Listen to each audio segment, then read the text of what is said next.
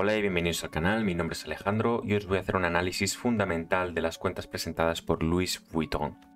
Es una empresa que tiene multitud de productos y está muy diversificada a nivel de sectores, es decir, siempre opera dentro del sector del lujo pero ofrece productos del vino, de la moda, perfumes, relojes, joyería y de hecho este año ha consolidado una nueva adquisición, es la compra de Tiffany. Por lo tanto, vamos a ver en los estados financieros qué es lo que ha ocurrido que es muy interesante.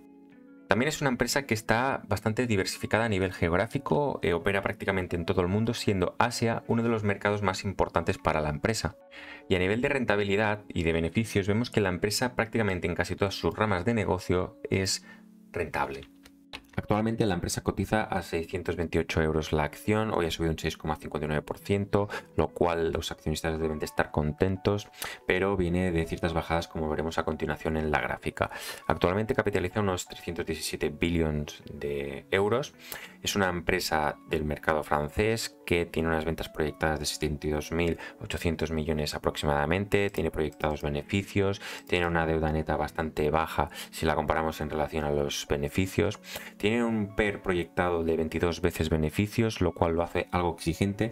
Lo que pasa es que esta empresa se ha comportado como un valor refugio para muchos inversores, dado su, su gran potencial y la fortaleza de sus marcas, además de sus fortalezas financieras, como veremos a continuación. Y lo interesante también de esta empresa es que reparte dividendo. Actualmente, a los precios de hoy, es un dividendo del 1,92%. Vemos como en la gran mayoría de las gráficas que vemos en el canal que eh, ha tenido un gran ascenso, pero un ascenso potente, siempre respetando la media de las 20 sesiones. De hecho, fijaros cuando rompe en la crisis del 2020 esta, esta media, eh, rebota con fuerza y empieza un ascenso directo hacia máximos. Llegó a 762, luego corrigió y bien, ya nos encontramos en los estados financieros de Louis Vuitton. Lo que vamos a ver primero de todo son las ventas. Vemos como de 2019 a 2020 hubo una bajada del 16,80%, pero que este 2021 la cosa se recupera, pero ¿de qué manera? Lo ha hecho superando el 40% de incremento de las ventas respecto al año 2020, lo cual es un dato fenomenal para la compañía. Pero lo más interesante aquí es el margen de ventas. Vemos que siempre supera el 60%. En, cuanto al 2019 fue un 66,20%, en 2020 un 64,45% y este año 2021, que es el año en el cual ha tenido más ventas, el margen ha sido del 68,3%, lo cual ya intuimos un poco cómo va a ser de caras en adelante esta PIG. Lo más probable es que haya tenido beneficios. Pero eh, hay algo curioso en esta empresa y seguramente que es políticamente incorrecto, pero que yo quiero mencionar y a ver si opináis lo mismo que yo. Louis Vuitton tiene un coste de las ventas bastante bajo en relación a las ventas, o sea, es una empresa que consigue vender el precio de sus productos a un precio muy elevado. Lo que pasa que tiene cierto esclavismo, o digámoslo así, eh, en cuanto a marketing y gastos de ventas. Es una empresa que se ve obligada a invertir mucho en este marketing porque tiene que enseñar, mostrar y demostrar a sus clientes que es un valor de marca muy potente. Por lo tanto, vemos como el, pese que el gasto eh, se mantiene fijo en el rango de los 20 mil millones anuales aproximadamente, ya sabéis que estos son datos aproximados que yo comento, pero eh, que la empresa tiene que hacer una fuerte inversión en marketing y gastos de venta. Eh, vosotros, siempre hay, seguramente habéis visto alguna tienda la cual muy probablemente venderá 10, 20 bolsos al día y tenga 10 empleados. Por lo tanto, son gastos de comerciales, gastos de marketing, eh, e inversión en marca que son necesarios para que estas ventas lleguen a formalizarse. Con lo cual, eh, yo, pese a que aquí contablemente no hace falta, es un gasto fijo, eh, incluso lo llevaría a gastos de venta, porque tú para vender ese producto necesitas hacer esta inversión. ya les digo que es incorrecto lo que acabo de decir, pero ¿por qué no asignar algo a este coste de ventas? Por lo tanto, lo que yo quiero decir con esta tontería es que eh, el margen es muy elevado, sí, pero podría ser menor si se tuviese en cuenta esta gran inversión que no es CAPEX ni nada, sino que es un gasto que se va a publicidad y que es necesario para poder mantener estas ventas. Dentro de estos gastos generales y administrativos vemos que también están controlados, eh, están dentro de un rango de unos 4.000 millones aproximadamente, siempre van variando en función de las necesidades de la empresa, pero por lo que quiero comentar, pese a que lo más normal es que vaya a haber incrementos a lo largo del tiempo, es que estos gastos fijos están bastante controlados, están dentro de un rango que diríamos controlables y que aumentan ventas y se mantienen. Por lo tanto, más buenas noticias, esto va a significar que la empresa va a poder mantener un crecimiento del beneficio bastante interesante. Es decir, mientras tenga más ventas, va a conseguir mayor beneficio. En cuanto a tasa de impuesto, vemos como la empresa ha pagado unas tasas bastante elevadas. En 2019 pagó un 28, en el 2020 un 33% y en el año 2021 26,20%. Son tasas bastante elevadas, pero digamos que al ser una empresa francesa, esto también puede ser normal. Las tasas impositivas en Francia son más elevadas. Además está dentro del sector de lujo, que seguramente tiene un gravamen superior a lo normal. Fijaros entonces el beneficio neto que ha habido este año de 12.698 millones. Ha pulverizado los datos del año anterior, que fueron algo malos, ya sabéis por la crisis que hubo y que eh, un año más o menos comparable, el 2019, pues vemos que casi casi que un poquito más y con suerte los duplicamos. El caso es que aquí hay un dato curioso y a ver si también opináis lo mismo que yo. En 2020 hubo una caída de las ventas, eh, hubo mucha demanda insatisfecha por el mero hecho de que la gente pues fue algo más prudente a lo mejor a la hora de gastar, pues toda la incertidumbre que había en ese momento, pues a lo mejor no daban ganas de gastarse en, productos de lujo, pero este año 2020 ha tenido su demanda normal, con su crecimiento, además una demanda que eh, se ha pasado del 2020 al 2021 es posible, ¿no? De ahí estos resultados tan extraordinarios, con lo cual habría que ver si en 2022 se van a poder mantener este nivel de beneficios. Y bien, de la cuenta de resultados nos vamos al estado de flujos de efectivo. Lo primero de todo vamos a ver cómo se ha gestionado el efectivo de esta compañía durante el ejercicio 2021. En este caso vemos cómo la empresa en términos generales ha obtenido unos flujos o un efectivo fruto de sus actividades de 18.648 millones de euros, de los cuales ha invertido unos 15.979 millones de euros y ha devuelto accionistas o financieras. Su flujo de financiación ha sido negativo y han salido 15.156 millones, lo que ha provocado una salida de efectivo de 11.989 millones y ha causado que la empresa tenga un cash de 7.817 millones. Por lo tanto, si sumamos el beneficio neto, que son unos 12.000 millones aproximadamente, más amortizaciones y depreciaciones, vemos al final de cuentas que eh, ese valor, el resultado de esta suma, se aproxima bastante al estado de flujos de efectivo generado por las actividades de la empresa.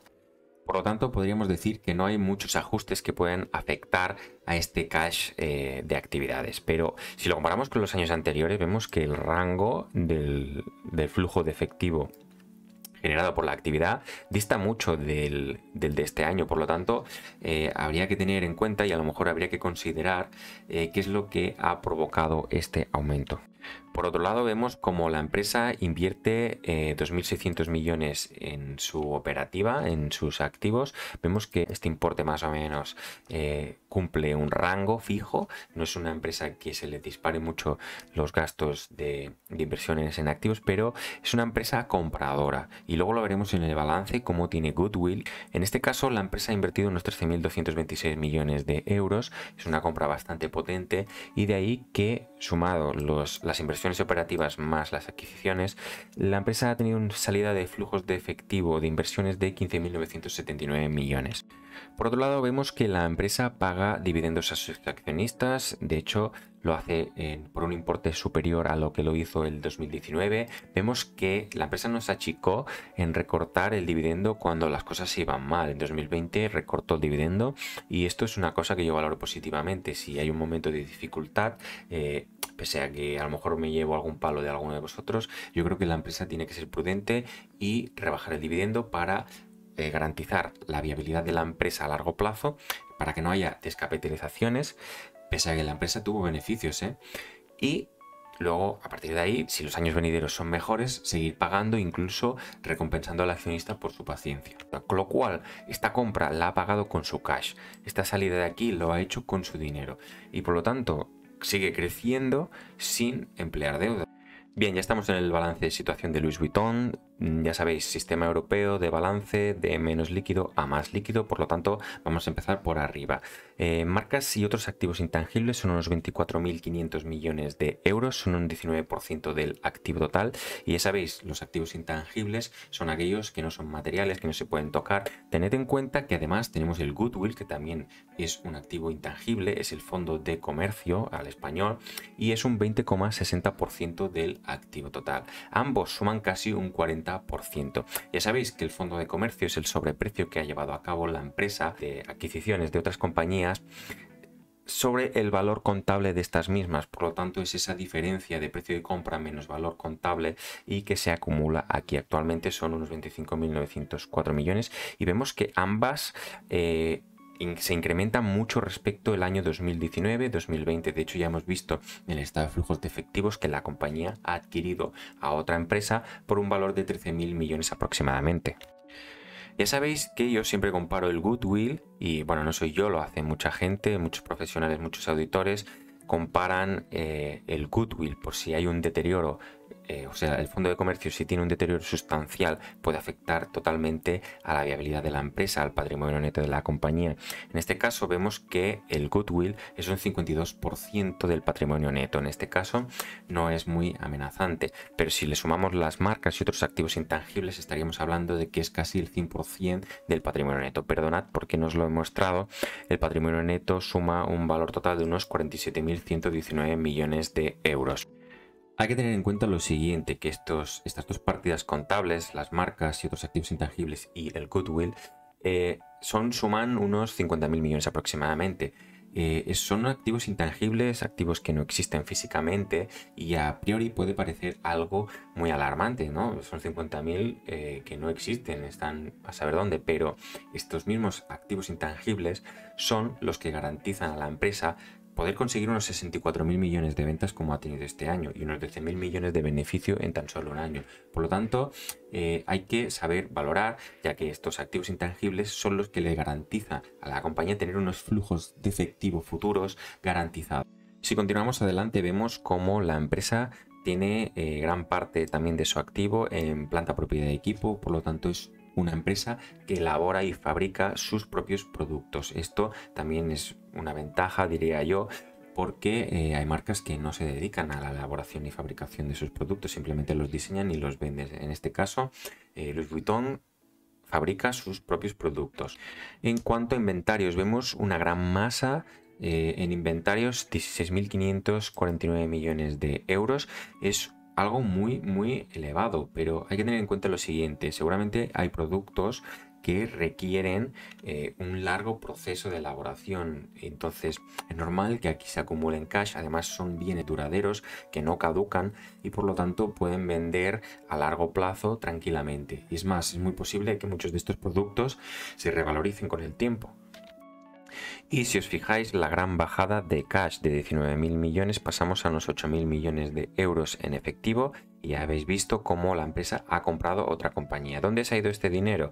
Pues se ha ido aquí arriba. Ver aquí cómo ha habido un incremento de los activos no corrientes. Pues ha habido incrementos de valor de marca, fondo de comercio, planta propiedad y equipo. Es decir, todo este efectivo empleado, toda esta disminución se ha ido al activo no corriente. Finalmente, de este eh, activo vemos como la empresa tiene un fondo de maniobra positivo, tiene un activo corriente de unos 34.300 millones y además tiene un pasivo corriente de 27.989 millones. Por lo tanto, eh, fondo de maniobra positivo.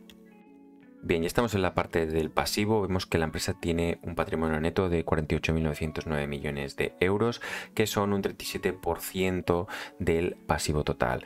Hay que tener en cuenta que esto no lo he calculado con esto, sino lo he calculado con esto. ¿Por qué? Porque hay 1.790 millones que son de intereses minoritarios.